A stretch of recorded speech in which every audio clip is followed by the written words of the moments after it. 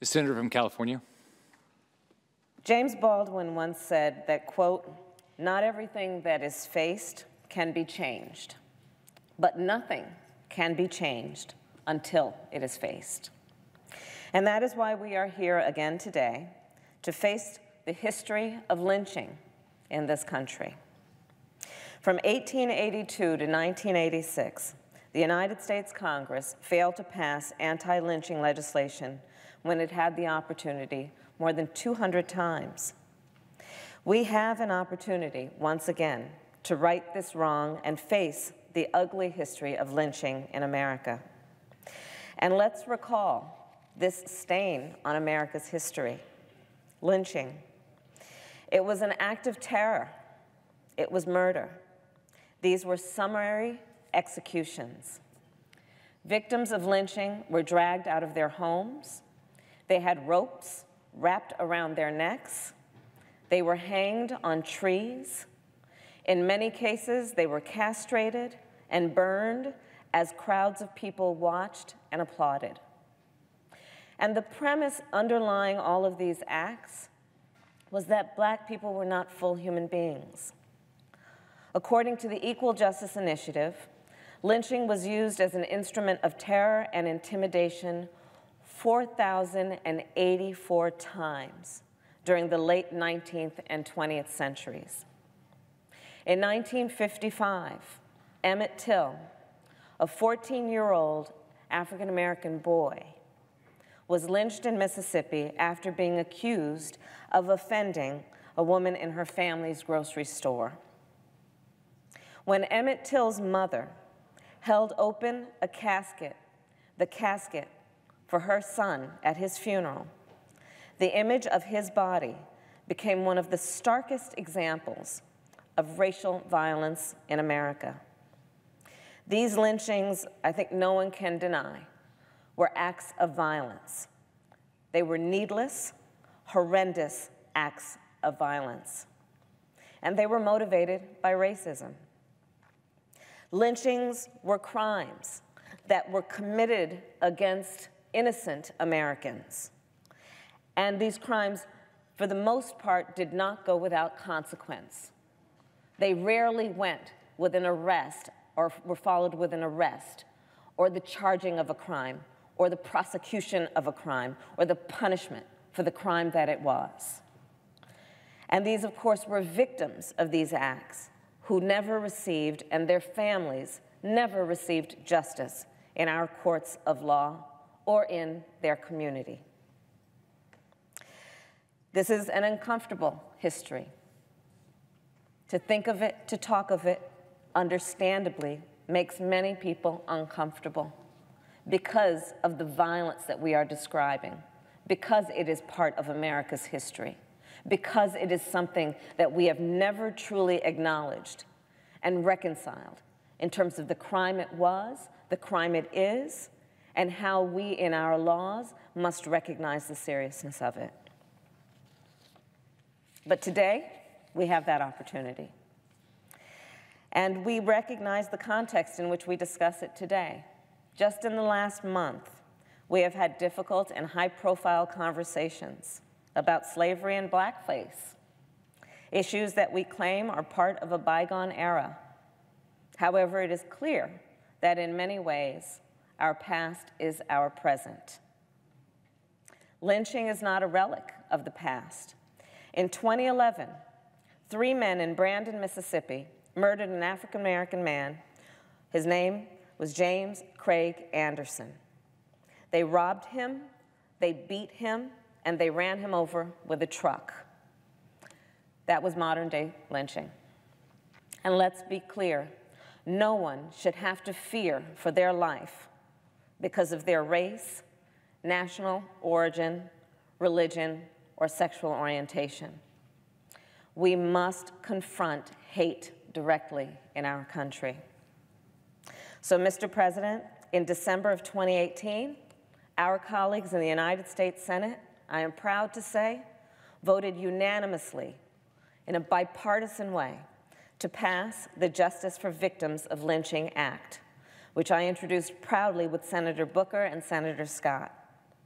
After 100 years and more than 200 failed attempts in the United States Congress, the United States Senate finally spoke the truth about lynching. Today, I have reintroduced the bill and will ask the Senate to pass it again. The Justice for Victims of Lynching Act is a historic piece of legislation that would make lynching a federal crime for the first time in American history. With this bill, we finally have a chance to speak the truth about our past and make clear that these hateful acts should never happen again, and God forbid they do, we are now making clear there will be swift, serious, and severe consequence. We can finally offer some long overdue justice and recognition to the victims of lynching and their families. And as Dr. Martin Luther King Jr. said, quote, the time is always right to do what is right. I now yield my time to my friend and colleague, the great senator from the great state of New Jersey, Cory Booker. Mr. President. I recognize the senator from New Jersey. Thank you very much, Mr. President. I want to thank Senator Harris uh, for her partnership and leadership on this bill. Uh, and I also want to thank my colleague and my friend, uh, Tim Scott from South Carolina, for his leadership and partnership on this legislation. Uh, as Senator Harris just said, uh, this is not the first time we've come down to the floor uh, of the United States Senate to, to implore this body to recognize lynching for what it is bias related terror. It's not the first time we've come down to this body to try to right the wrongs of history after numerous attempts, dozens and dozens, during the height of lynching in the United States. This body failed to act. This body did not stand up to protect American citizens and condemn the horrors of lynching. And in December of last year, uh, as Senator Harris and I were standing here, uh, this body actually made a historic decision. It was a profound moment, emotional moment. Uh, they made the decision to pass the Justice for Victims of Lynching Act by unanimous consent, no opposition. After a long, painful history, a shameful history in our country, and a shameful history in this body, the United States Senate finally voted unanimously to make lynching a federal crime. But unfortunately, the bill was not taken up in the House before the end of the last Congress. And so here we are today with the hope and expectation that for the second time, this body will make history by passing federal anti lynching legislation, and that for the first time in history, this bill will actually become the law of the land. Senator Harris referenced the Equal Justice Initiative, which did document over 4,000 cases of racially motivated lynching between 1877 and well into the 20th century. Lynchings that were used to terrorize, to marginalize, to oppress black communities, and to kill human beings, sowing deeper fear, inequality, and injustice for generations. The use of lynching to inflict racial terror is, terror is ugly, disturbing. It is a tragic part of our history. But we know that its legacy does not just live in our history books. Less than two weeks ago, an actor and activist was brutally attacked in Chicago. Two men yelling racial and homophobic epithets. Lynching is not a relic of the past. We are seeing in the present its pernicious evil, and we still have yet to confront this in this body. Bias motivated acts of violence and intimidation in America are actually on the rise. Hate crimes are on the rise. For the third year in the row, hate crimes against black Americans are on the rise. Hate crimes against Jewish Americans are on the rise. Hate crimes against LGBTQ Americans are on the rise. Muslim Americans are on the rise. This is unacceptable. Justice for the victims of lynching has been too long denied. And as we look forward, we must collectively in this body make a strong, unequivocal statement. The last time Senator Harris and I came to the floor with this request, I read from an expert of a speech given by Congressman George Henry White, the first member of Congress to introduce an anti lynching bill more than a century ago, and the last black member of Congress to serve for decades following Reconstruction. This was the last speech he ever gave on the floor when Reconstruction subsided. Voting rights were violated, and you would not see an African American back in the US Congress for decades and decades. His last speech was the last speech that any black American congressman would give. And he said for, for, for many decades, and he said in 1901 about the terror of lynching, he said, This evil peculiar to America, yes, to the United States, must be met somehow, someday. For too long in this body, in the United States Congress, we've relied on the inevitability of someday when it comes to addressing this profound injustice. For too long, we have failed failed to ensure justice for the victims of lynching, and failed to make clear that the, in the United States of America, in this great country, lynching is and always has been not just a federal crime, but a moral failure. We have the opportunity right now, again, to make history in this moment, right now, to recognize the wrongs of both our history and our recent past, to honor the memories of those so brutally murdered, and to leave a legacy that future generations can look back on, knowing that after some 200 attempts in this body in more than 100 years, that on this day, this moment in American history, notably Valentine's Day, as one leader once said, What does love look like in public? Justice.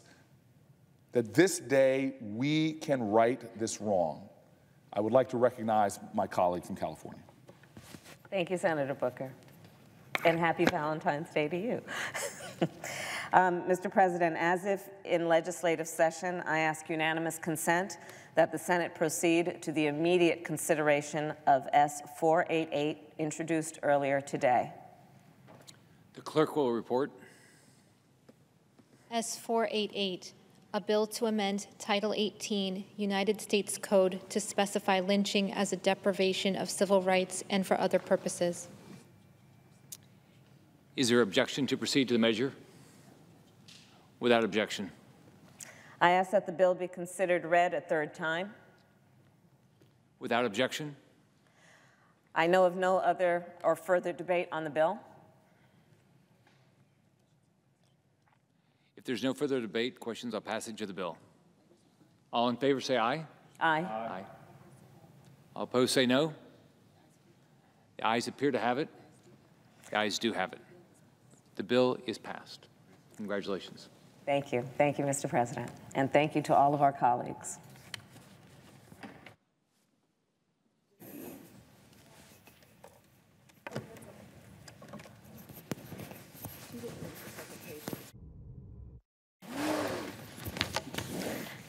And Mr. President, I ask unanimous consent that the motion to reconsider be considered made and laid upon the table with no intervening action or debate.